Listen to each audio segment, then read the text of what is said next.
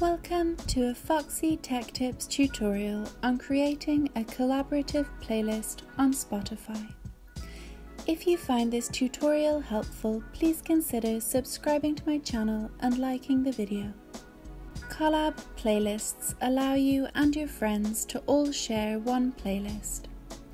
You can all listen, add songs, and remove them whenever you'd like. Here is how to set one up. You can turn any existing playlist into a collab playlist, but I'm going to create a new one for this tutorial.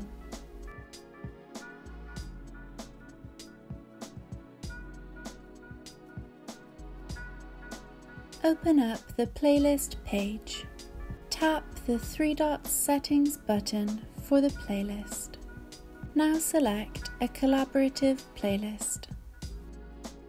You can tell that it's now a collaborative playlist because it has that O icon before the name. You can now start adding your own songs and inviting your friends to add theirs. To invite a friend, tap the Options button for the playlist. Select Share and then choose the way you want to share.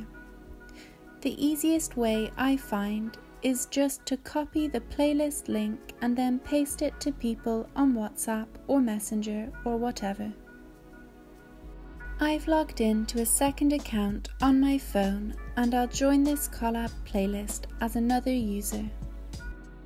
Copy the playlist URL and then open the Spotify app. Paste the URL into the search bar of Spotify and hit enter. In order to be a collaborator, you will need to hit the heart button to save the playlist to your library. You can now add tracks to that playlist like normal and it will update the playlist for everyone who has it.